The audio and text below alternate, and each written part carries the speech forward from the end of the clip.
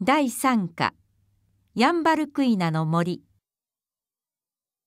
森の奥に足を踏み入れた途端風に乗ってシイの花の香りが漂ってきた。木々の若葉が春の日差しを浴びてざわざわと揺れている。耳を澄ますとどこからか水の流れる音がする。渓流が近いのだ。この森のどこかにあの幻の鳥ヤンバルクイナがいるはずだ。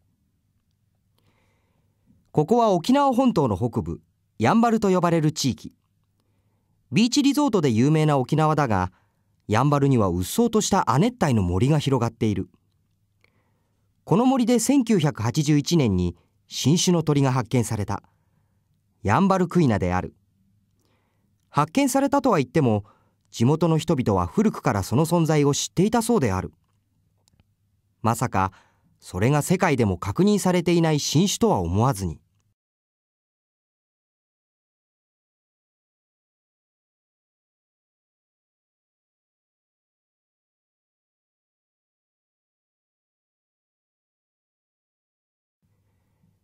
ヤンバルクイナの生態はまだあまりよく分かっていない。生息地はこの沖縄本島だけである。体の割に翼が小さいため飛ぶことが得意ではない。昼間は森林を歩き回って餌を探し夜間は木の上に飛び上がって休むと言われる。体はオリーブ色で腹に白と黒の縞模様がある。赤くて太いくちばしと丈夫なオレンジ色の足が特徴である。国の天然記念物に指定されているが森林の伐採やダムの建設などによってその数は減少しており絶滅の恐れがある。沖縄を中心とする南西諸島は豊かな自然のおかげでヤンバルクイナに限らず貴重な動物の宝庫だ。原始の猫と言われる西表山猫や人魚伝説のモデルとなったジュゴンなどよく紹介される。しかしどれもが希少種あるいは絶滅が危惧される動物なのである。減少の原因は開発狩猟動物の移入など様々であるがいずれにせよ人間の営みと関わりがあることには違いない。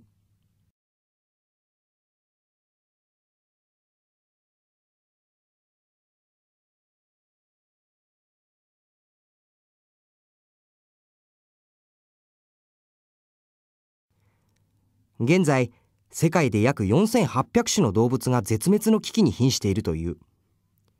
これらの動物を絶滅から救うにはどうしたらいいか。そのためのプロジェクトが世界各地で始まってはいる。それが実を結ぶことを祈りたい。そしてヤンバルクイナの遊ぶ森やジュゴンがのんびり泳ぐ海を私たちの手で守っていかなければならない。なぜなら野生動物が生きていけない地球環境というのはすなわち人間にとっても住みにくいものに他ならないのだから。